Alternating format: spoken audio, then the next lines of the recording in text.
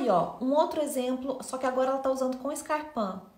A calça legging, encerada, né, num tecido mais diferente, camiseta preta e um belo de um cardigan por cima, que eu achei maravilhoso, por sinal, esse cardigan vermelho, gente, ó que lindo. E aí o sapato nude, né?